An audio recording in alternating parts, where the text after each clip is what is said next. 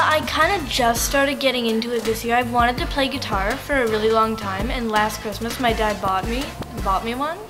But I never really got a chance to play it all that much. So this year when I when I heard there was a music program, I I, I went into guitar and I've really been enjoying it and practicing at home. I'm not very good yet, but that's okay because I know I'll get good if I just keep trying and I enjoy it, so it's all good. I sing. You were singing. Yes. You sounded good. Thank you. Do you play an instrument as well? Yes, I play guitar.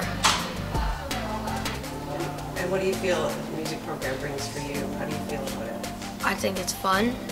There's always some problems with it, but it's mostly fun. Like, get to focus on it. Mr. Fawdry's a good teacher. He helps you out a lot, which is good. Um, we played Ray's Plan or God's Plan. We played Seven Nation Army. We practiced and we played um, Eleanor Rigby. Seven Nation Army was probably Yeah. the hardest to play. Yeah. Um, it, I know how to play it, it. If I was on guitar, I'd know how to play it, but ukulele is really hard to figure out. To transfer from chord to chord is pretty hard, especially when there's quite a few chords. I mean, it's good.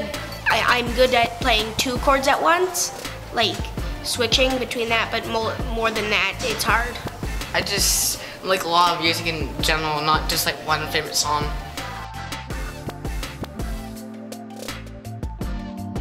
And our teacher, um, uh, he's really good at teaching us because he has like a band of his own with some of his friends and like his wife. I do think that it's really neat. Like for me, it relieves a lot of stress. Like to go and just play and then come back, and I can concentrate a bit more on what needs to be done. And also, we get to not not only play music, we get to listen to music and kind of learn about other music. So I think that that's really neat.